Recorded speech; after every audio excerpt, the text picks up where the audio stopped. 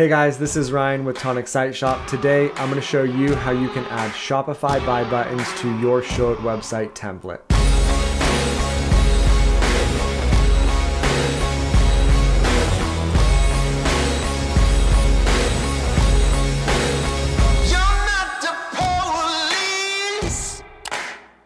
Shopify buy buttons are hands down the easiest way to get started selling digital and physical products with a show Showit website template. If you're interested in learning how to create an e-commerce shop on your show Showit website template, be sure to check the links in the description below. All right, so like I mentioned, adding Shopify buy buttons to your show Showit website template is really easy. And if you're not familiar with what Shopify buy buttons do, let me go ahead and show you.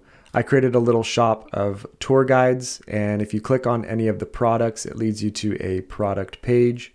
And if you click on the Buy Now button, you'll see that a nice slide out cart appears where people can view the products in their cart and then check out. If they click on checkout, it brings them to a really nice checkout page. And all of this is done with Shopify buy buttons. To add a Shopify buy button to your Showit website template, you need to have a Shopify account and you need to activate the buy button sales channel. Once you've activated that, go ahead and click on buy button and you'll see you can create a buy button. We're going to be creating product buy buttons. So go ahead and click on that. And then let's click on the product that you want to create a buy button for. In this case, I'm going to be creating a buy button for the Athens travel guide. Let's hit select.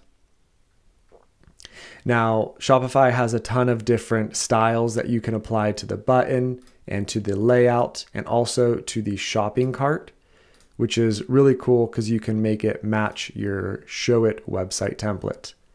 Once you're done designing your button, go ahead and click on next and then click on copy code. At this point, you can head over to Showit and find the product page that you've created for your digital or physical product. And then what we want to do is we want to add an embed code box to the page. And then we're going to add that code that we copied from Shopify to the box and then click on save. Now you'll see a button appears in that embed code box. And that's what we want. Now you have a few different options. If you've already designed a button inside of Showit, you can lay this button right on top of the Showit button and then go to effects and turn the opacity of the embed code box down to zero. What this is going to do is it's going to allow you to still have the Shopify buy button activated on this page. However, you get to use the button that you designed in Showit. Now, another way of doing this is just to use the Shopify buy button, delete the button that you designed in Showit. So either way works. I actually prefer to use the Showit designed button because you can add the price in there and you have a lot more customization with the actual button. So we've added the button right on top of the existing button. I'm gonna go ahead and copy this because I have another area down here where it says, yep, I want this. We're gonna paste that and then we're just gonna add the button right on top of that as well. You can make that 50% transparent just to kind of see where it's lined up and then go ahead and make it zero again.